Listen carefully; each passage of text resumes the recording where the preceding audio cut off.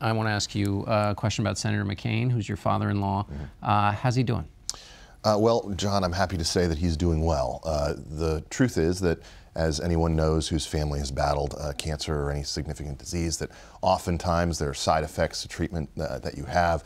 Uh, the senator's been through uh, a round of chemo and he went and was hospitalized this week at Walter Reed. Our thanks to the doctors at NIH and Walter Reed who've been treating him. He is doing well, he is in good spirits, and he's looking forward to heading back home to Arizona for the holidays. Our thanks to everyone who has been sending thoughts and prayers to the senator this week. We greatly appreciate it and he remains one of the toughest men on the face of the earth, as you know. that we know. So we'll send him again. Our thoughts and prayers to him and to the whole family. Thank you. So thank you.